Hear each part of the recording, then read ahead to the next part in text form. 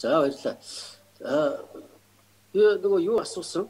Одоо хөгжлийн бэрхшээлтэй эргээд дуудлага өгөх 102, 103, 107-г яаж хөгжлийн бэрхшээлтэй хүмүүст хялбар болох уу гэдэг дээр хариулт авсангүй.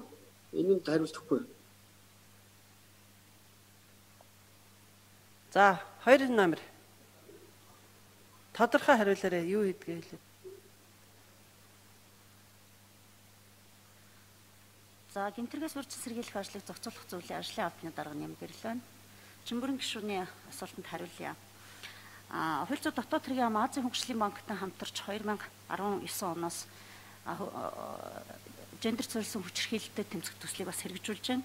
Энэ төслийн хүрээнд энэ хөгжлийн бэрхшээлтэй хүний эсрэг үйлдэгдэж буй гэр бүлийн хүчирхийллийн талаарх чанарын судалгаа хийж байгаа хараахан бас эцсийн тайлан гараагүй. Гэхдээ үүнтэй холбоотойгоор цагдаагийн байгууллагын дэргэд ажилладаг 107 гэр бүлийн хүчирхийллийн дуудлага мэдээлэл авдаг мөн одоо сэтгэл зүйн зөвлөгөө өгдөг 107 утсыг улс орны хэмжээнд хотлайн болгож энэ дотроо хөгжлийн бэрхшээлтэй хүмүүст одоо хүртээмжтэй болгохоор ажиллаж байгаа.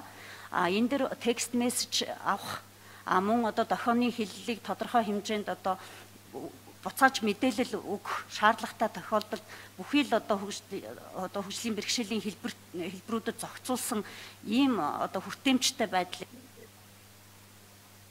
Нэмгэрэл дарга жоохон тодорхой товчхон ярьж хэл зүгээр энэ дараа нь тодорхой нэмчээр. За сарангэр сайд